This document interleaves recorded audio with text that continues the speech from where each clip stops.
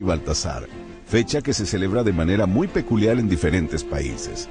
Por ejemplo, en España se organiza la llamada cabalgata de reyes, durante el día 5 de enero, donde los reyes suelen ir montados a caballo, camello o en carrozas, vestidos con mantos y coronas, atrayendo la atención y la ilusión de cientos de niños, pues son los mismos reyes magos que en la noche les llevarán regalos.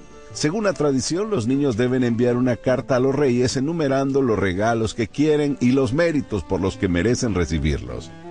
En ese país, según la tradición, los regalos de Navidad los traen los Reyes Magos a los niños de la noche del 5 al 6 de enero.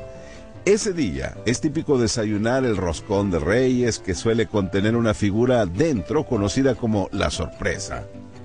En el caso de Puerto Rico, los niños recorren el patio recogiendo grama que colocan en una caja de zapatos junto a su cama. La grama es para alimentar a los camellos y los reyes dejan los regalos en las cajas.